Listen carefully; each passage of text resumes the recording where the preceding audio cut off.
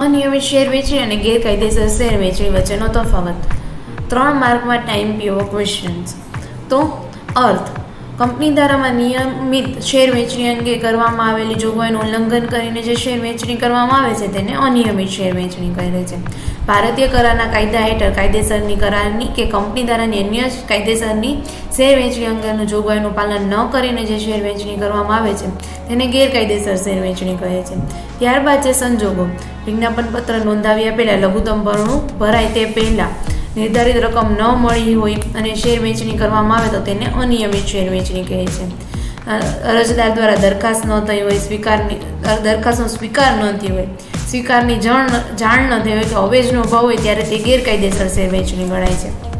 અસર, અનિયમિત share વેચણી share મેળવનારી છે તો રદબાદલ કરાવી શકે છે, પરંતુ તેની માટે સમય મર્યાદામાં કાર્યવાહી કરવી પડે છે.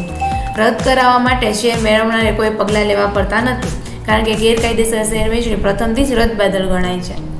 ત્યારબાદ આવે છે સભ્યપદ પર અસર. અનિયમિત શેર વેચણી રદબાદલ કરાવવામાં આવે તો શેર ધારકનું નામ સભ્યપત્રકમાંથી દૂર થાય છે અને સભ્યપદનો અંત આવે છે. ગેરકાયદેસર વેચણી બાબતમાં સભ્યપદ મળ્યું જ ન હોવાથી રદ કરાવવાનો પ્રશ્ન ઉપસ્થિત થતો નથી. ત્યારબાદ જવાબદારી. અનિયમિત શેર વેચણીમાં જવાબદાર અધિકારીઓ, કંપની તથા શેર હોલ્ડરનું નુકસાન કે ખોટ ભરપાઈ કરવા માટે જવાબદાર છે.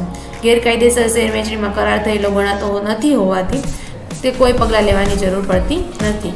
તામ શેર વેચણી, અનિયમિત શેર વેચણી અને ગેરકાયદેસર શેર વેચણી એ બે બે અને ત્રણ માર્ક માટે આઈએમપી એવો ક્વેશ્ચન છે.